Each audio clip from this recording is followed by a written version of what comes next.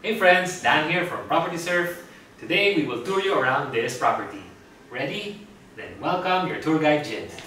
Hi everyone! Welcome! Nandito tayo ngayon sa center mismo ng Antipolo. So, itong development na to is very accessible to hospitals, schools, grocery, etc. So, marami pang units na available but we're gonna look at this particular unit. So, um, this unit, meron kayong one car garage.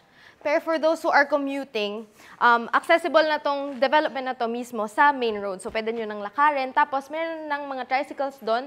And may access na kayo agad sa buses, jeeps, and everything else na kailangan nyo, UVs, papunta sa business centers like Pasig, Ortigas, um, BGC, Cubao, etc. So, very convenient sa inyo na uh, magko-commute lang. So, meron kayong um, space pa doon sa gilid. Tapos, itong area na to, pwede nyo pang lagyan to ng um, gate, pwede nyo i-gate to, tapos lagyan nyo nito ng mini garden, or whatever na kailangan ninyo, no? laruan ng kids or anything. So, tara, pasok tayo.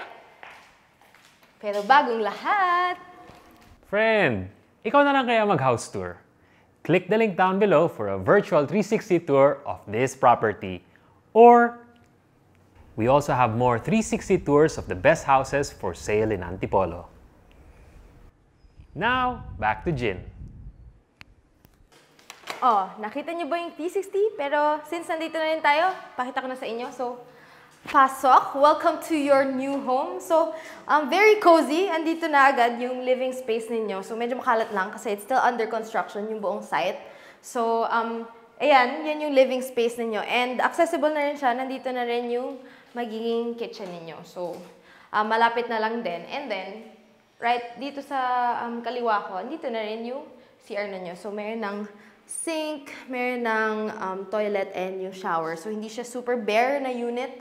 Meron na rin kayong mga furnishings na ganyan. So, ayan. And then, sa side na to, ito yung pinakita ko kanina sa inyo na mula dun sa garage, pwede kayong pumunta dito sa gilid. So, pwedeng dito na rin kayo magsampay, maglaba. So, ayan, naka-open din yung taas nito. So, mahangin din. Ayan, may windows ka din dyan. So, um, yan, magandang space na pwede niyong paggamitan. And then, ayun, so that's it for the ground floor. Akit tayo. Ito yung first bedroom. So, meron ka ng cabinet dito sa side. Kasi actually, meron ka ring um, balcony.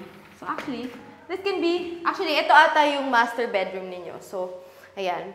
Uh, for that, for this price, you actually have a balcony. So, it's really nice for that price point kasi you rarely get to see that na may additional ka nito. So, really nice kasi nandito ka sa Antipolo. So, sana ma-maximize mo yung hangin, di ba? Yung nature. So, um, ito yung CR. So, may access ka to the um, bath na nandito sa taas. Nakalock lang siya. So, dito tayo dumaan. So, there you go. Um, this will be your common bath for the um, second floor. So, accessible na rin siya to both bedrooms kasi may bedroom ka pa dito sa kabila. So, ayan. Punta tayo dito sa kabilang room. So, yan. Again, meron ka ng floor to ceiling actually na cabinet. Tapos, very spacious na rin naman. No? Enough space for you to have a bed. Actually, pwede ka rin maglagay ng office table for those na nag-work from home ngayon, di ba? So, ayun, you have two bedrooms for this house. Very accessible to um, transportation hubs and tricycles. So, convenient for us commuters. Alright, that's it. So, for this price point, you get this much of a space. And actually, one of the best things Ayan, good morning. One of the best things about this house is that high ceiling din siya. So, maaliwalas. You really get to feel that Antipolo vibe dito. So, if you are interested and you would like to see more sa house na to, meron tayong 360 virtual tour na pwede nyong i-click sa description sa baba. And um, make sure to check that out kasi marami pa kaming options for you. So, we hope you enjoyed and we'll see you real soon.